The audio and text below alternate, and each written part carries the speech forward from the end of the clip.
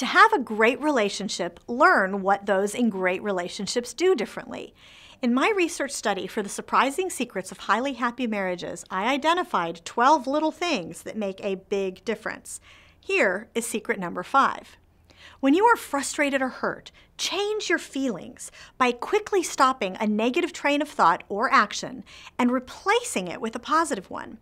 Okay, ladies, picture this scenario. Your husband has been working a lot of overtime and he's exhausted, so you run the kids to all their activities and tell him when he gets home, he doesn't need to think about coming and help, he should just sit and watch football. All you ask is that he changes the light bulb in the garage. Four hours later, exhausted yourself, you pull into your garage, your pitch black garage. As you stumble over one of your kids, you can feel your blood pressure rising. You only asked him to do that one thing. But you gather yourself. It wasn't really that one thing after all. He did stop at the store to get those coffee filters for you when you know he just wanted to come straight home. He does that stuff a lot, actually. See, that is the way highly happy couples have trained themselves to think. They boss their feelings around.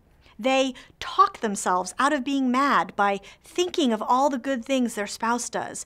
When they are really bothered, they force themselves to respond as if they are understanding and compassionate, and then find those feelings rising to the surface. In fact, one of the reasons these couples became happy was that they had learned to stop negative trains of thought before they got that bothered to begin with.